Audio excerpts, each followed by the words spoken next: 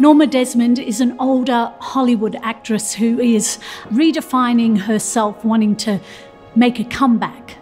When I first received uh, the call uh, that I'd been chosen as the alternate for Norma Desmond, I was really excited. It's a role that I've been wanting to play for many years. I think people are going to be overwhelmed by this production. The costumes, the scenery, the orchestrations. It's a true old style musical.